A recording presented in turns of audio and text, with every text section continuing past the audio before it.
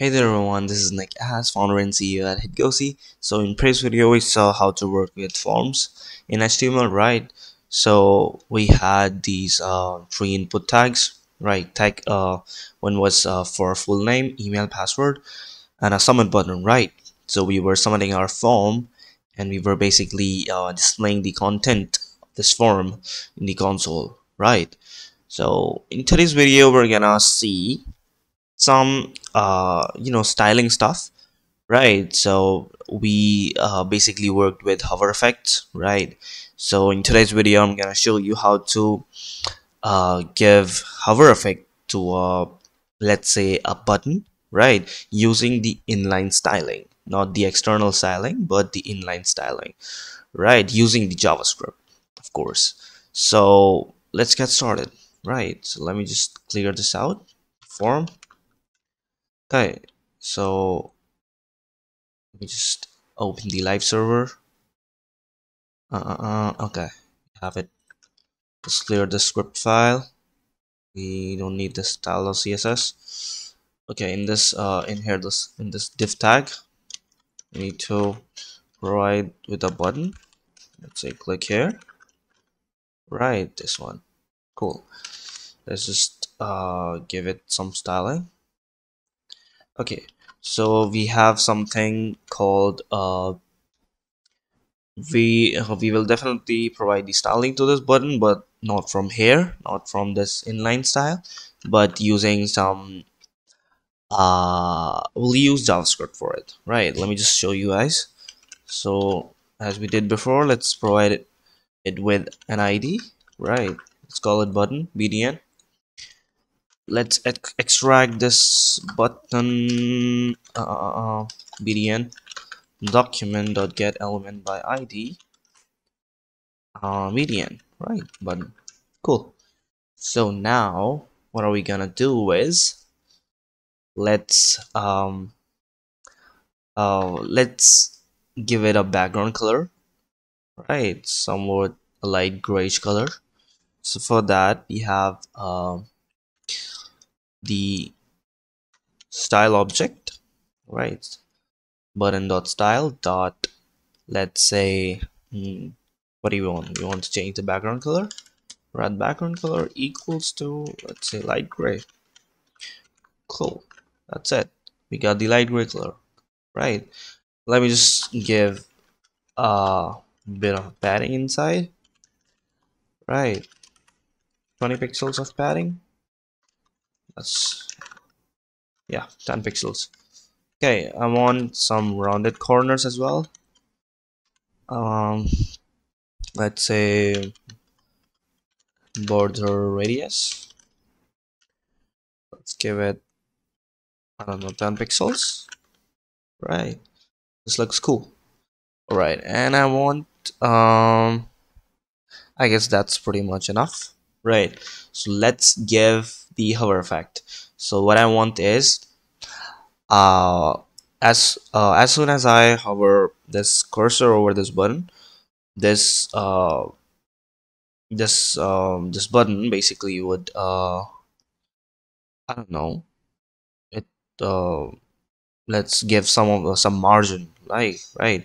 So whenever I hover over this button uh, it would gain some uh, I don't know 10 pixels margin from uh, top from the top or bottom I don't know we'll just look after it. Okay so again we'll go with we'll go with some list event listeners right? This time we have mouse enter right? This is some sort of an event. Mouse enter means whenever the mouse enters over here the callback function this callback arrow function would be triggered right? And we can pass an argument over here e or even whatever you may like. Right so in here we got something called e dot current target dot let's say style. Okay style it's not taking style. Let me just go with target dot style. Okay it's not taking style. I don't know why it's not taking style but it would work I guess so whenever the mouse enters what I want to do is uh, e dot current target dot style dot let's give margin top. Right so in here uh, in JavaScript the styling goes with uh, camel camel case. Uh, this uh, something I don't know what what to call it. It's camel case uh, I don't know writing some camel camel case stuff right? So yeah.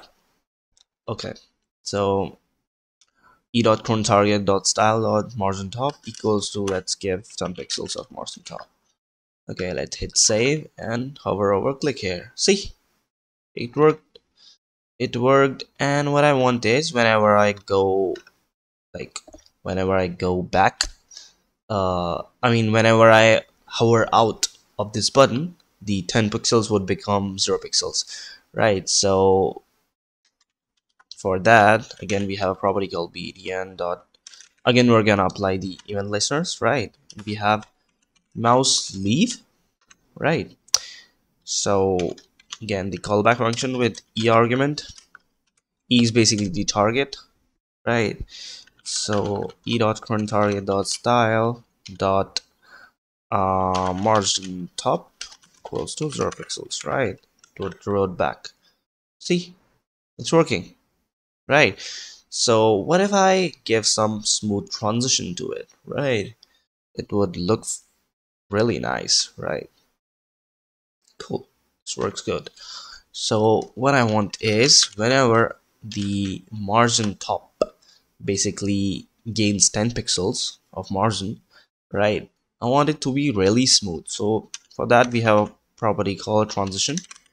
Right transition yeah transition equals to so um, the first uh, parameter parameter would be all like transition to all the uh, parameters of this uh, button basically right? All all includes width height margin top padding padding bottom everything right right? So I'm going with all. You can uh, also write um, I guess margin apart from this all right? But I'll go with all for for now right? And the second argument would be sorry second parameter would be um, the delay basically. Or yeah it's gonna be delay. So I'll go with 0.3 seconds right? So delay in the transition.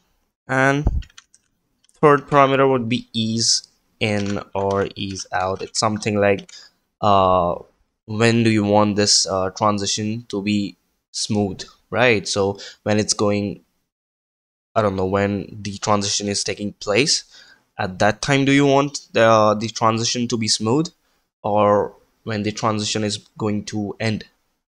Or that or at that time. Is some uh, it, it words something like that right? So yeah. You guys may try it out right so i also want this a transition to get applied right whenever I hover out of this button as well right. That's gonna be all 0.3 seconds ease right so let's just check. See it works right. So whenever whenever I hover in it takes 0.3 seconds and it's at ease right it's smooth. Right so this is how it works and we can also give some you know some uh, sort of box shadow. Box shadow let's say one pixel one pixel five pixels three pixels aqua. I like the aqua color right? So cool. Oops okay. So we also need to provide the none parameter right whenever I hover out. Right works good. Cool. Also i don't want the border basically. I don't want the border basically of this button so can go with style dot border none.